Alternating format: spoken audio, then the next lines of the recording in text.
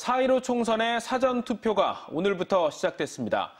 코로나19 확산을 막기 위해 손 소독제와 장갑은 물론 1m 거리두기 등 역대 총선에서 볼 수 없었던 생소한 장면들이 연출됐습니다.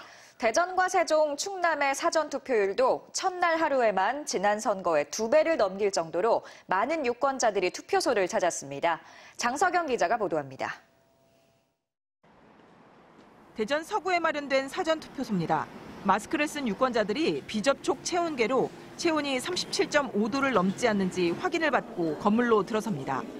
손 소독제로 소독을 하고 비닐 장갑까지 낍니다. 사람들은 바닥에 표시된 선을 따라 1m 간격으로 떨어져 사회적 거리를 유지합니다.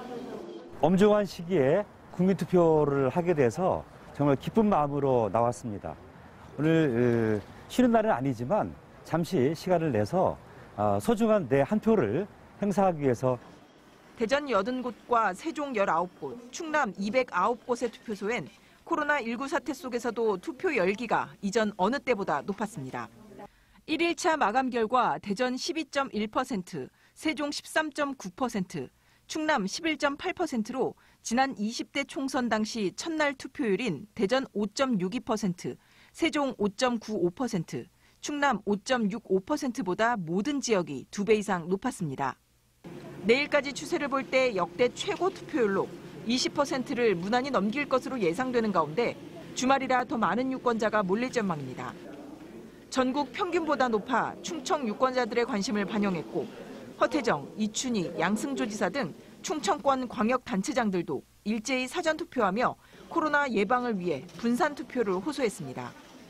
선관위도 발열이나 기침 증상 등이 있는 사람들을 위해 건물 밖에 따로 기표소를 마련하는 등 감염 예방에 만전을 기했습니다.